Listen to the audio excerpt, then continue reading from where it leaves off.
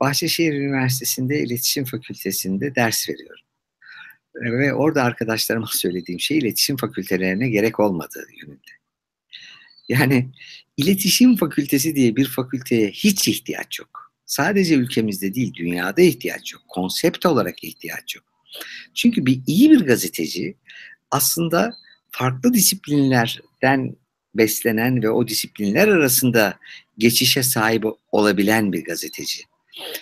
Ee, örnek olarak söylüyorum. Örneğin bir hukuk fakültesi öğrencisine adliye muhabirliği dersi diye 1, 2, 3 ve 4. sınıfta 4 tane ders koymanız halinde o hukuk fakültesi öğrencisi gazetelerin ve televizyonların adliye muhabiri olarak rahatlıkla çalışabilir. Çünkü hem hukuk bilgisine sahip hem o muhabirlik derslerinden elde edebileceği yazınsal bilgi ve tecrübeye sahip olacak.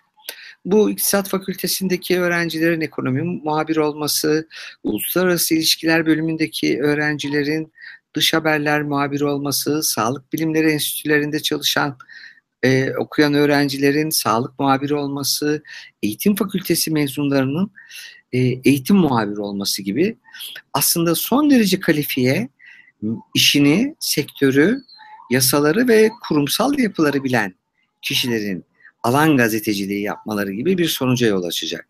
Benim arkadaşıma önerim eğer ille de gazetecilik yapmak istiyorsa sosyal bilimlerde tarih ama öncelikle sosyoloji, siyaset ya da iktisat gibi bir alanda okuyup ondan sonra gazeteciliğe geçmesi.